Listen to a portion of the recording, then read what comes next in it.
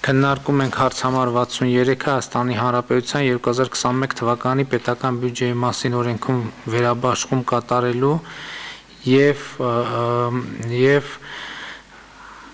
2020 թվականի դեկտեմբերի 30-ի 22:15-ը որոշման մեջ փոփոխություններ եւ լրացումներ կատարելու մասին հարցը զեկուցող կրթության, գիտության, մշակույթի եւ սպորտի նախարար Վահրամ Դոմանյան։ Համեցեք, պարոն Դոմանյան։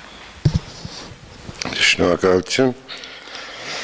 Մեծարգո վարչապետ, հարգելի գործընկերներ, Ձեզ եմ ներկայացնում Հայաստանի Հանրապետության 2021 թվականի պետական բյուջեի մասին օրենքում վերաբաշխում Հայաստանի Հանրապետության կառավարության 2020 թվականի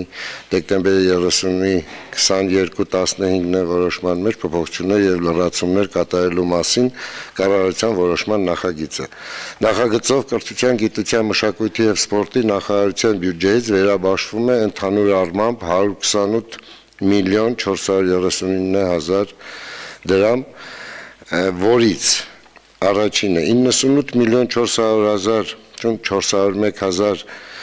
դրամ գումարը դրամաշնորհային պայմանագրի հիման վրա հատկացվում է պատմամշակութային զառանգության գիտահետազոտական կենտրոն ՊՕԱԿ-ին հետևյալ աշխատանքների իրականացման համար։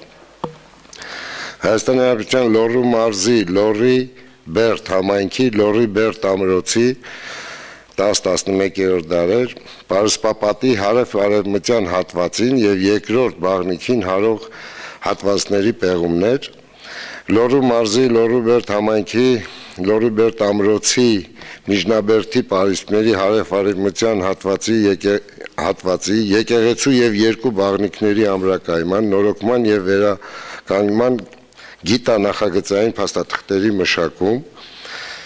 Լոռու մարզի Ամրակից գյուղի ռուսական եկեղեցու 1846 թվականի ամրակայման վերականգնման եւ տարածքի բարեկարգման գիտանախագծային փաստաթղթերի մշակում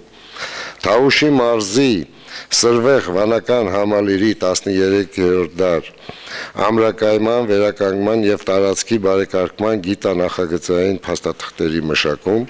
Թաուշի մարզի Թաուշ ամրոցի 10-րդ դար Փարիսների, կից կառույցների, եկեղեցու ամրակայման, վերականգնման եւ տարածքի բարեկարգման գիտանախագծային փաստաթղթերի մշակում, երկրորդ կետը 20 միլիոն 138 հազար դրամ գումար է ներառյալ ավելացված արժեքի հարկը դրամաշնորային պայմանագրի հիման վրա հատկացվում է Հնագիտության եւ ազգագրության ինստիտուտ ՊՕԱԿ-ին Հայաստանի Հանրապետության Թաուշի մարզի Բերդ համայնքի Թաուշ ամրոցի տարածքի պեղումների իրականացման համար։ Երորդ 9 միլիոն 900 հազար դրամ գումարը ներառյալ ավելացված արժեքի հարկը դրամաշնորային պայմանագրի հիման վրա հատկացվում է Հայաստանի պատմության թանգարան պոակին արենի 1 քարանձավից գտած մեր թվարկությունից առաջ 3600-3500 թվականների հնագիտական գտածո կաշվե ոտնամանի պահպանման համար հատուկ ցուցապահարանի պատրաստման եւ տեղադրման աշխատանքների ձեռբերման համար։ Խնդրում եմ հաստատել ներկայացված նախագիծը։ Շնորհակալ եմ, պարոն Դոմանյան, հարգելի գործընկերներ, մենք Հայաստանում պատմամշակութային ժառանգության պահպանման խնդիրների նկատմամբ առանձնահատուկ ուշադրություն պետք է դարձնենք, որովհետև կարևորում ենք մեր ինքնության եւ պատմության հուշարձանների պահպանումը Նաև մենք նախորդ տարվանից, այսինքն 2020 թվականից մի ծրագիր պիտի սկսեինք, որը պատերազմի պատճառով ընդհատվեց, խոսքը մեր պետականությունը խորհրդանշող պատմամշակութային հուշարձանների պահպանման եւ վերականգնման ծրագիր իրականացնելու մասին է։ Իհարկե բնականաբար խոսքը այս դեպքում ամրոցների եւ բերթերի մասին է։ Ցավոք այնպես է ստացվել, որ մենք ամրոցների եւ բերթերի եւ քաղաքացիական ու պետական նշանակության կառույցների բավականին հարուստ ժառանգություն ունենք, բայց այդ հարուստ ժառանգությունը բավարար չափով պահպանված եւ մատչելի չէ հանրությանը, սկսած ճանապարհներից, որ դեպի այդ ամրոցները տանող պատշաճ ճանապարհներ չկան։ Հաջորդ խնդիրը, որ նրանք ըստ էության շատ երկար ժամանակ ընդհանրապես որևէ վերականգնման, ամրացման աշխատանքների չեն ենթարկվել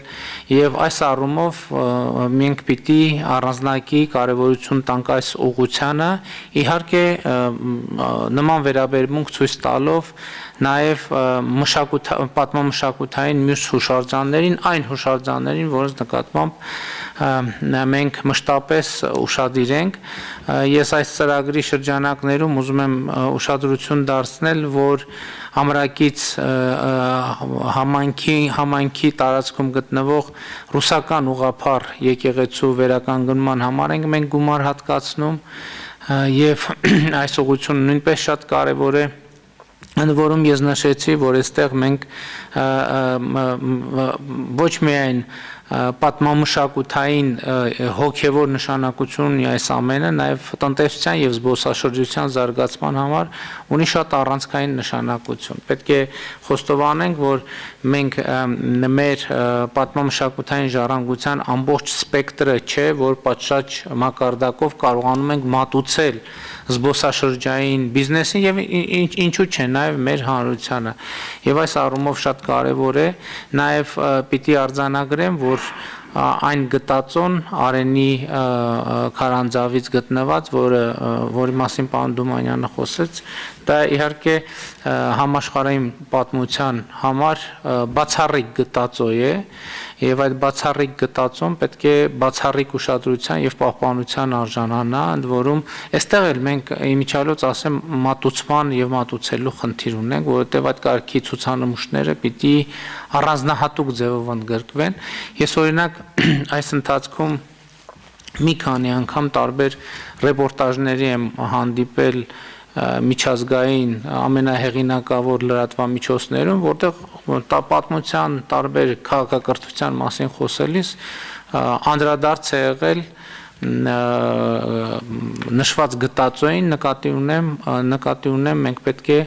այդ ժառանգությունը այդ հարստությունը պատշաճ մակարդակով մատուցենք բայց ամենակարևորը այս ծրագիրը պետք է լինի շարունակական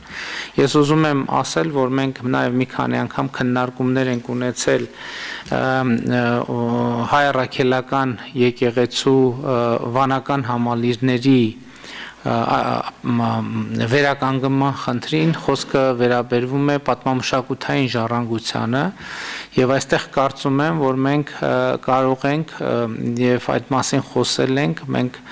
առաջարկը կձևակերպենք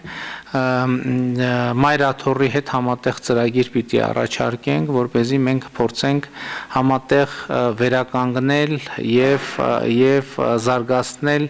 վանական այն համալիրները, որոնք հիմա համարվում են պատմամշակութային արժեք եւ եւ գաղափարը այն է, որ կառավարության եւ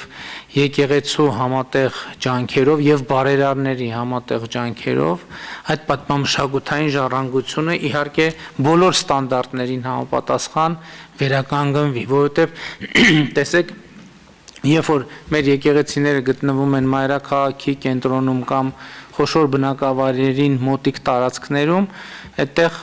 շատ թե քիչ բարվոք վիճակ է, բայց մենք ճարտարապետական գլուխգործոցներ ունենք, որոնք նաև շատ մեծ հոգևոր հոգևոր նշանակություն ունեն, որոնք գտնվում են բանուկ ճանապարհներից հեռու եւ գաղափարն այն է, որ կառավարությունը իր վրա վերցնի յենթակառուցվածքների ստեղծումը, որ เป զի էլի կրկին մատչելիության հարցը հարցը լուծվի եւ նաեւ հայ ռաքելական եկեղեցին իր հերթին ներդրում անի եկեղեցու բուն, եկեղեցու վանական համալիրի վերականգնման վրա եւ բարերարները եւ այս ծրագիրը մենք մտադիր ենք առաջիկայում առաջարկել եւ հույս ունեմ, որ այս ուղությամբ կարողանանք կոնկրետ արդյունքների հասնել, որովհետեւ իրոք կան գլուխգործոցներ եւ մեր պատմական ու մշակութային եւ հոգեվոր ժառանգության կարևոր կարևոր համալիրներ, որոնք այսօր շատ վատ եւ վտանգ վտանգված են եւ մենք պիտի հրատապ ջանքեր գործադրենք այդ խնդիրը լուծելու համար։ Իմիջայլոց էլի 2019 թվականին մենք այսպիսի մի ծրագիր ենք սկսել, որը էլի կ ូវ իդի եւ պատերազմի պատճառով ընդհատվեց խոսքը խորհրդային միության միությունից որպես ժառանգություն ստացած եւ ժամանակի ընթացքում վերացված մշակութային կոթողների մասին է եւ մենք ուրախությամբ պիտի արձանագրեմ որ Չարենցավանի Խաչմերուկի մոտ գտնվող հավերժության ժապավեն կոչվող համ, համալիրը վերականգնման վերջին փուլում է եւ այնտեղ մենք իմիջայլոց ես ուզում եմ հիշեցնել այդ համալիրի պատմությունը, երբ որ քանի որ այն պղնձից է կտոր-կտոր գողացել են եւ իմիջայլոց նաև այս շինարարության վերականգնման ընթացքում էլ այդպիսի դեպքեր արձանագրվել մենք պայմանավորվել ենք ոստիկանության հետ որ կբացառվի այն բոլոր վերականգնվող այն համալիրները, որոնք մենք կվերականգնենք եւ որոնք որոնց հետ կապված նախ նախ ճանապարհի եզրին գտնվող պետքա մենք մտածենք պատշաճ պահպանություն իրականացնելու վերաբերյալ։ Տեղ-տեղ դա մենք կդնենք տեղական ինքնակառավարման մարմինների վրա, պահնորդական ընկերությունների ծառայություններից կարող են օգտվել։ Տեղ-տեղ ոստիկանությունը այդ գործառույթը կիրականացնի, բայց այս ուղղությամբ էլի գաղափարներ կան եւ այդ գաղափարների շուրջ մենք պետք է մտածենք, իհարկե ֆինանսական միջոցների արկայությունը հաշվի առնելով եւ այս ուղղությամբ պետք է առաջ շարժվենք